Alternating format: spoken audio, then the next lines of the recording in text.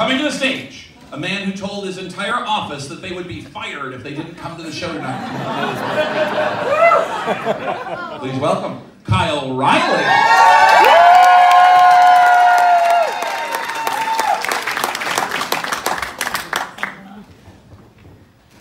Thank you.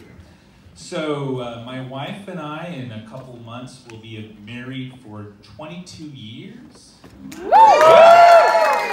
We actually met in college, and when we first met, we would argue all the time because we were on the debate team. that's what we did. You know, and I think that um, you know, we have a pretty good relationship. We have the exact same interests and the exact same goals. We just do whatever she wants. you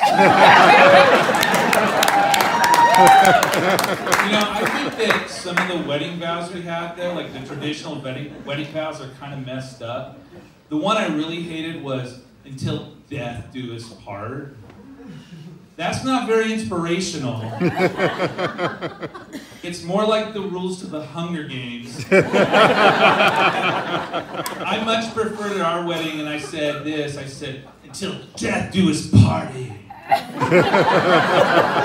Way more uplifting and a lot less like an invitation for murder. I do think though you should live your life like a party. Like a really fucking good party. and then you die the party's fucking over.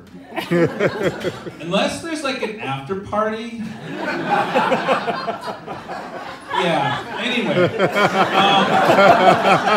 Um, so one thing my wife and I are really into right now is Marie Kondo, tidying up Marie Kondo. You seen it? Yes, on Netflix. So what Marie Kondo says is, if something doesn't spark joy in your life, you just get rid of it.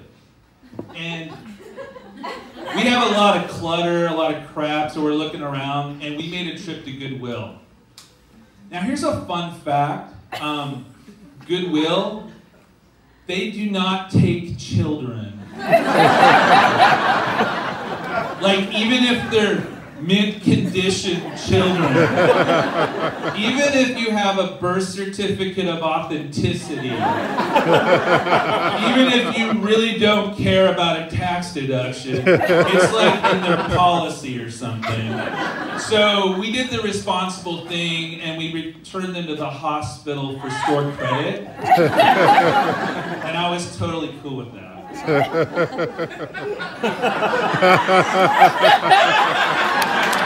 I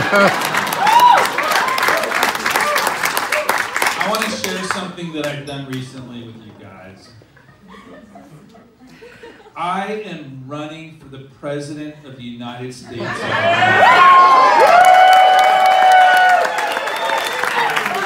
I mean, why not? Everybody's doing it. I do think I have a good chance of winning, though. I can distinguish myself from the other people, the other candidates.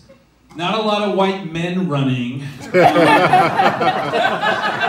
know, I noticed though that I'm in a little bit of trouble because I'm polling at 0%, which is actually the same as Jay Inslee. and right above us at 2% is somebody else. And that doesn't feel great, but it does kind of make you think like if Jay Inslee actually dropped out of the race, his numbers would like automatically go up.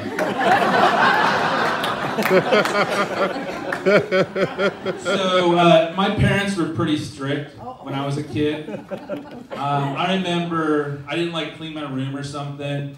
My dad comes in and he takes all of the video games.